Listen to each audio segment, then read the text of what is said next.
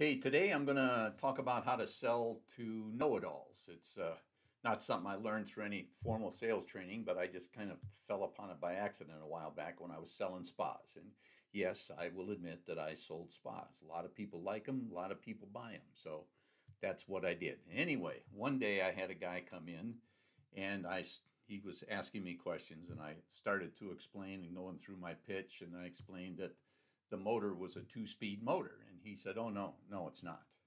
Well, here we are. I know it is. I've read the manual.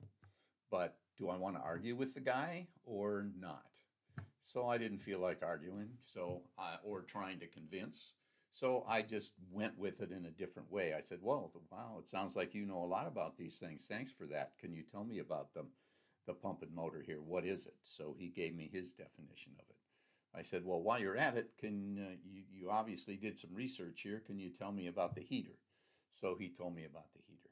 And I said, well, this has kind of a air booster pump for the fittings to blow air bubbles in so you get a much better feel while you're in the spa. Do you know anything about that?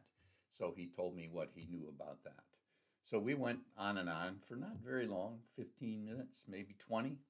And I said, well, you got me convinced. Uh, it sounds like uh, uh, if I were the buyer, I'd buy it right now. I said, What about you? He said, Yeah, yeah, I think I'll do that.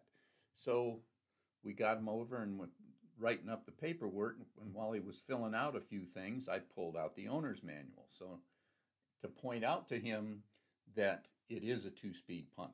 Didn't want to say he was wrong. I didn't want to get in an argument with him. This is the manufacturer talking, not me.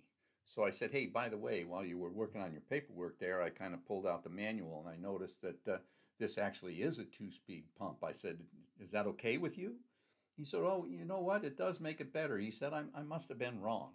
And I said, well, you know, it's no big deal. I just didn't want you to buy something thinking it was one thing and it actually was another, but this is what the manufacturer says. He said, hey, that's great. So we finished the deal, got paid full right there. And that was the end of it. 20 minutes, stop, uh, beginning to end, no arguments. I let him sell it to me.